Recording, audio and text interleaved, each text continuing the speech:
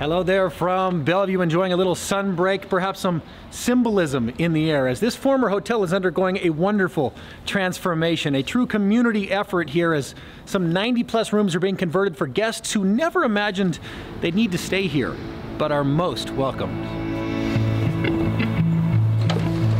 Hello, how are you? Very good. This is our new emergency family shelter in Bellevue for Mary's Place. Mary's Place is standing in the gap from a moment a family has to leave their home until they find their forever housing again. And so we are here helping those families that are outside, unsheltered right now, and bringing them out of the snow and the cold and into warmth and safety and hope into this brand new uh, hotel for us uh, right here in the city of Bellevue.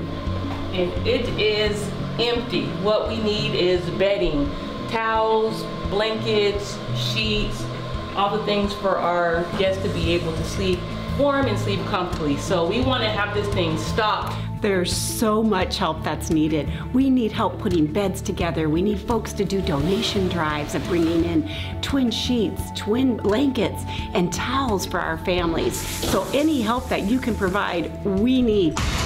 We have volunteers here today, still putting beds together. It's 90 rooms. It's a lot of beds. Yeah, that's probably good. It is heart wrenching to see the number of families outside. We have not seen this many families outside for many years.